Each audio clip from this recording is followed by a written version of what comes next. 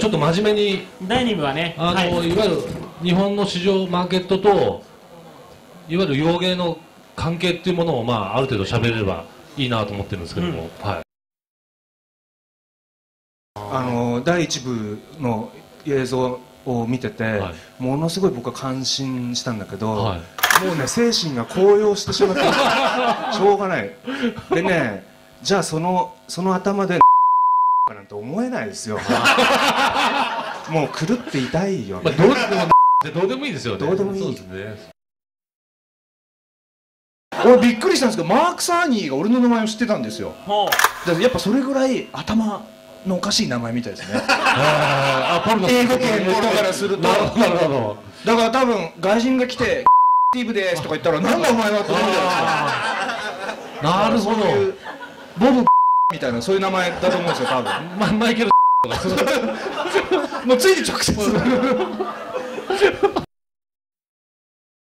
E3 今回マスクさんも行かれてましたよね。あ行きました。E3 でこうちなみにこう洋芸でなんか見どころのあるものとか気になるものって逆にありましたか？そういう意味では。うーんとそのソフトとかそういうは個々の作品とかじゃなくてあのやっぱり XBOX360 なんじゃないのかなっていうようなのを思ってそれはそのあの他が魅力がないとかそういうことじゃなくてですねあのなんつうんですかね成熟してたんですよね。あそうですね。とてもその出品されてる作品がすべて。あのこれから PS3 で出るゲームって全部360でも出るんですよ。そうなんですよ。そうじゃないと制作費が回収できないからん。両方必ずはい供給するって言って、あの Wii に関してはこれスペックが合わないですからこれ出ないんですけど。あそうですよね。はい。はい、でも、まあ、PS3 か XBOX360 かどっち選ぶっていうもう話になってるんですよね向こうは。もうどっちを買うかみたいな。それで先に売ってる方が絶対有利なんですよ、はいはい。そういう意味では。なるほど、うん。そういう意味ではね3もねその血が出ないみたいなのもあって。そう。で360っていうのはこうこれ僕の知り合いのゲーム会社の社員が言ってたんですけども、はい。まあ、あの360のレーティングの敷居っていうのはめちゃめちゃ低い。あのそういういわゆる規制みたいなのがほとんどない、っていうあの自由な結構環境の場を提供してるっていうのがあってあこれはもしかしてっていうふうにちょっと思ったんですよね、今年の E3 は。あのいや本当あ360なんですよ。あのプレステの時にそのキャッチフレーズで全てのゲームがここに集まるっていうのがあったじゃないですか、あれと一緒で全てのゲームが360に集まってるっていう状況が今年の E3 で結構見事に披露されましたね。見事に見事にそ思いましたね。はい。本当全てが出るハードになったなっていうのがあるんで。あれあれあれ良かったじゃないですか。ワイルドサマワイルドサマーワイルドサマー。ワワイルドサマーもうーワイルドサマーーっていうね。パンツを盗む。パンツ泥棒の GTA スタイルでやることがパンツ泥棒っていう。しかもまあ夏休みなんですよね。夏休み。夏休みの思い出にパンツ泥棒するっていう。僕の夏休みなんですね、あれは。これ夏休みにもやる目的がもう違うって時点でここでもう日米の摩擦がね。摩擦があるんですよね でもそもそもやっぱりねキノコ潰した時に血が出ないのがおかしかったと思うんですよね。あでもキノコ血出ませんね。汁汁が汁が。大丈夫ですか？いやでもそういう意味ではその Z 指定という実害をはい。被った須田さん的には、そうですよ。当事者の目線の話をちょっとお聞きしたいですよね。僕はあの発売した後に Z なんでどっちかというと勲章かなと思ったんですよ勝新と同じこと言ってますね。そうですね。あのもう大喜びですね。勝新もあのハワイで麻薬で捕まって日本帰ってきてあの、はい。執行猶予3年、はい。これは俺にとってもアカデミー賞だ。アカデミー賞みたいなもんだそれによって売り上げが左右するって意識は当時はなかったってことなんですかね？まあでもな何かしらの、はい、害はあると思うんですよね。み皆さんがそう遊べなくなるっていう状況は。そうですね。伝えやとか、ね、Z そうそうですね。扱ってないですからね、Z はね。Z の場合はすごく実害ありますねもうあのいや追加生産とか多分ないですから Z になっちゃうと。はい。そうなんですか？そうです。あやばいですね、はい。それは。でも Z はねお店の陳列棚がないっていう理由でですねはい。入荷できないけど、はい。この間ヨドバシカメラでこんなものがありました、それは UMD の AV ですね、ええ。はい。リリサと行くラブデート。ファック。最高ですね。キラーセブンは Z でお店に入んないけど、はい。ラブデートファックは入るんですか？女優の名前じゃないですよもう。タイトルなんですよ。やばい AV に負けましたか。そういう。いやちょっとショックだな。ねショックだな。選べる3つのデートファックですよ。ゲーム性まであるっていうでもハックゲーム作った方がいいんですかね？よくわかんない。FG を。ゲームもついてますよ SM スカッシュっていうねリサとエッチに遊べるゲーム機能搭載 SM スカッシュそうですね。もうね志田さんが生き生きしだしちゃいましたからがぜんしゃべってま今じゃあもう。だからあのもう苦しい苦しい。作作り手もいろんなことを気にしないといけないから、はい。そうそううん。そのパンチはいいんだっけとかパンチしたリアクションではい。歯が折れるのはいいんだっけとか、鼻毛が抜けるのはいいんだっけとか ピリピリピリピリしちゃって何にも考えられなくなっちゃうね、結構だから今日もクレーターさんうん。何人か来てらっしゃるんですけども、同じ気持ちだと思いまですねね。だから、はい。ほっといてよと。そう。ね。あの俺たちの作るゲームで遊ぶプレイヤーは分かってるから。はコロンバイン高校行かないかいら。行かないです。分別あるから分別あるからで人殺したらなんでみんな遊んでるんだっていうね、うん。この運命もまたね面白いんですけどね。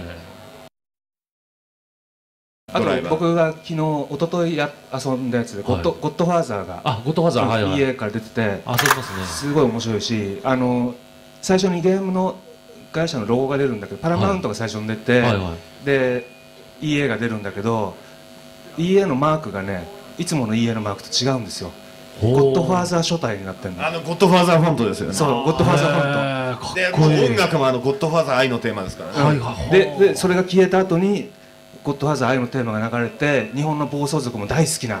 あれバラそうそうそうそう。あれ流れてでマーロン・ブランドの顔がフェードインしてくるだけで、もうこれは EA の本気だなと思ってあのびっくりしましたけどね。だからねいいよ妖怪は。あとまあススカーフェイスとかこれは並ぶ話であるとやっぱスカ,、ねスカーフェイスがあったり。あのあの辺があの一つのジャンルとして定着したらもうく妄想してるだけで楽しはいくてお時計仕掛けのオレンジとかもいいなとかね。いいですねいいですね。あのプロデューサーですよ僕。はいはいはい。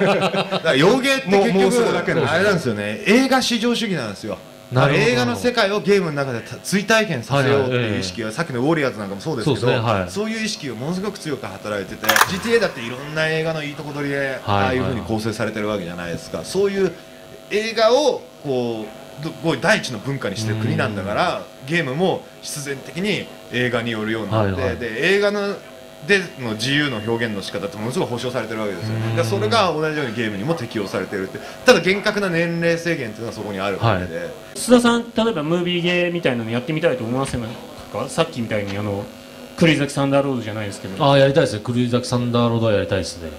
海外のとかで気になるのないですか、海外ですか、えいややっぱ日本のものをやってほしい日本のものやりたいですねこれほんこれマジで不思議なんですけど、はい。なんでゲーム多分反響力高いんでしょうけど、はいはい。サンダーバードってすごい絶対あいいゲームになるとそうですね。映画もやりましたもんねあの新しいのは微妙じゃないですか、はだけどいろんなメカがあって、ね毎回ミッションがあるから、はいはいはい。これすぐゲームになるのにと思って俺昔東北新社の人に言ったんですけど、はいはいはい。お互いペーペーだったんでまあその場だけで終わる。ちょっと盛り上がって。相手は ITC ですからね。こんな日本の会議室でいいですよねって言ってそれはゲームにならないですよね。まあお互い出世すれば作れる感じです僕はあのトラさんをゲーム化します。GTA スタイルでねミミッション戦なすかミッション戦ミッション戦でそれ悔しいな。もう歴代マドンナよりみあんなもうよよりどりみどりより入れ食いですね。入れ食いでしょあじゃあ僕釣りバカで。釣りバカで俺つ釣りバカがいいです。それトラディショナルな。それただの釣りのゲームになるんですよ全全国全国全国。GTA 釣り。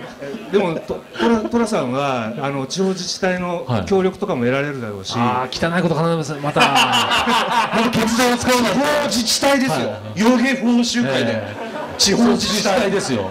また責任ですよすべて。町おこしとかね。町おこし起こしてね、うん、いいじゃないですか。まだだから山田洋次さんが生きてるうちに山山田洋次にやっぱり脚本書いてもらいたいですよね。ああいいですね。あの人ね死んじゃうんですか？死ん